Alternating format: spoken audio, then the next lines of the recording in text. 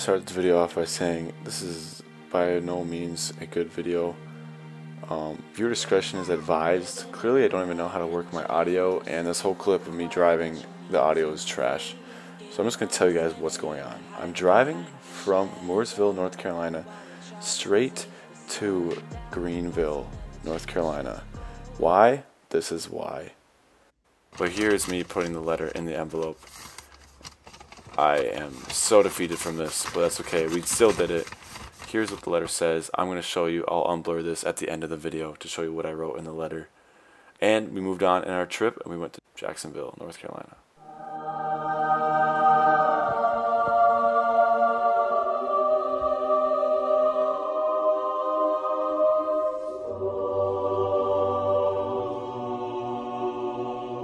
Mission failed.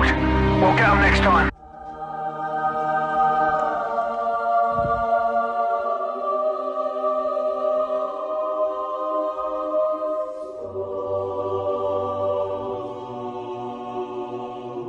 Let's eat. I'm currently in Georgetown, sort wow.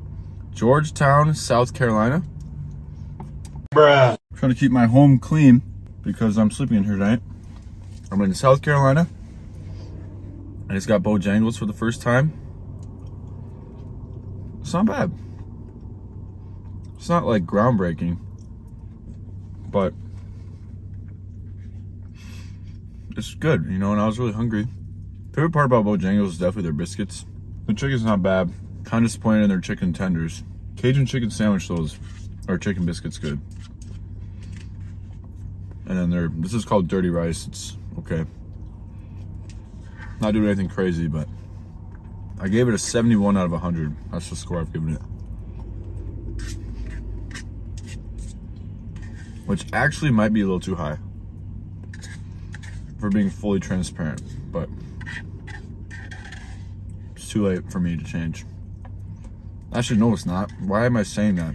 I'm giving it a 64 out of 100. Nice. I don't know. Let's see the more I eat it. Let's see if Ah, I need to stop making a mess. Yo, there's an Anytime Fitness down the road.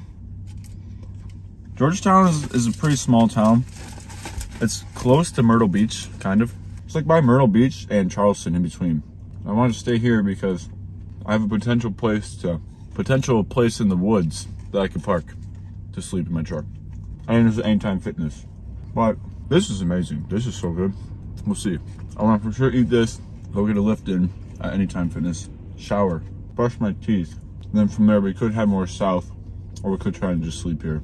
I was gonna check the time, but my truck's off. I think it's about 5 p.m. Got that daylight savings or whatever hit last night. I've been on zero dates while I've been here, but that's okay. At this point, I'm just dating myself. sounds kind of weird. I'm just living life, you know, trying to experience new things, trying to survive.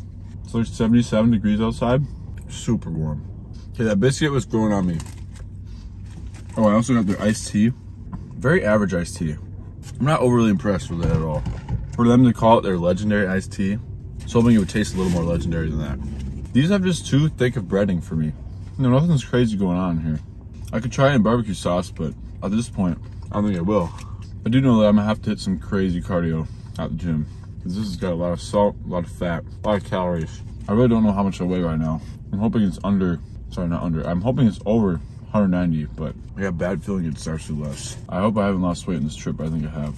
The more I eat these, the less I like them. Not a good sign. Yeah, I don't know. All right, I'm gonna cave. I'm gonna open the barbecue.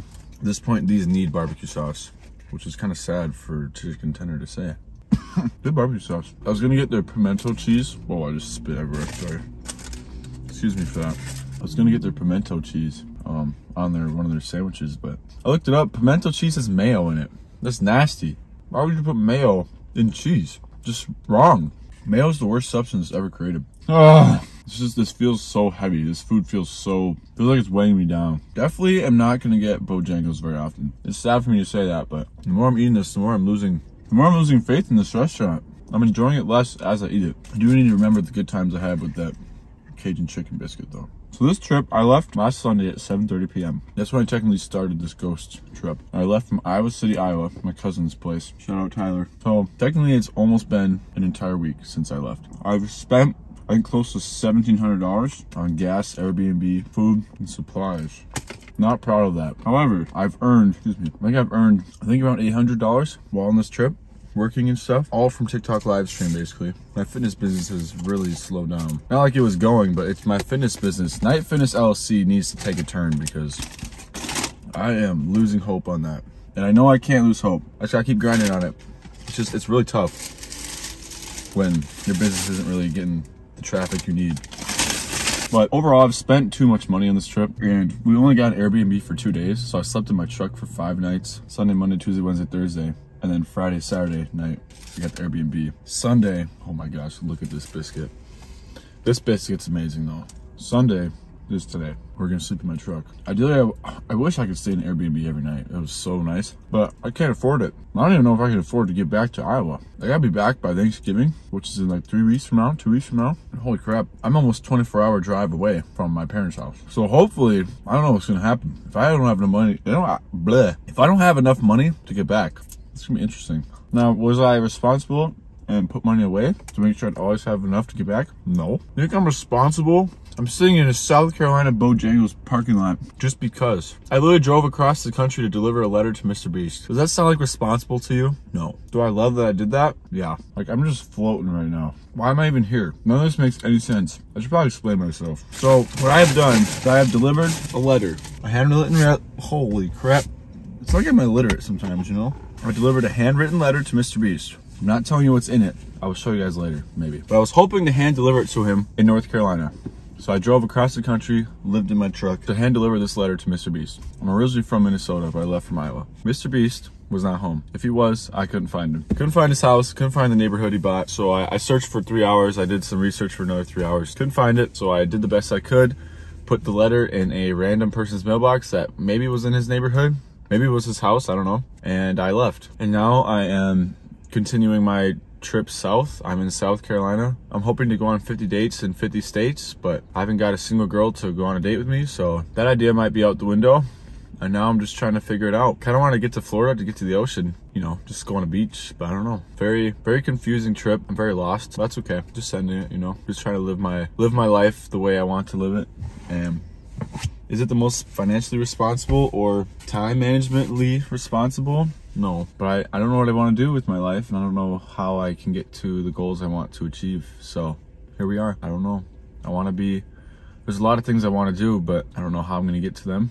So we're just, we're on this trip, experiencing new things, seeing new parts of the world I've never seen and doing it all solo. I did meet up with a friend in North Carolina that I met on TikTok live stream named Ian. And that was cool to see him, meet him. He's an awesome person. He's doing his own road trip, but he's going to Tennessee first. And I'm I'm probably gonna go down south to Florida. And then from there we'll see. It's all about how much I can afford. So let's let's see if I can get back to my parents for Thanksgiving. And I will see you guys later. I don't know if I'm gonna record any content in the gym. I love Sam Sulek. I'm trying to be like Sam Sulek he's a huge inspiration to me, but I have a lot of social anxiety, especially with recording in the gym, and I feel like I'm invading people's privacy in the public gym. I don't know. So content might be hit or miss with YouTube on during the gym, but I don't know what I'm doing. I love you guys.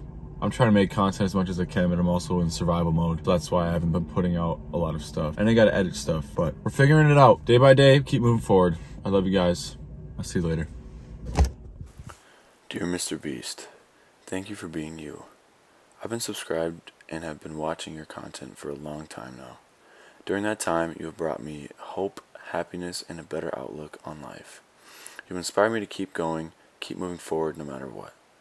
I've gone through some very dark times in my life, and during these times, your videos were some of the only joyful moments I could find. Your outlook on life, your work ethic, and your thoughtfulness to help others is truly admirable. I'm a 23 year old man who is still quite lost in life but I can honestly say I aspire to be like you. Thank you for being who you are and for helping so many people. You're one of the greatest inspirations and role models I have. I traveled across the U.S. to deliver this letter to you in person, but if I don't see you, hopefully you will find this letter somehow.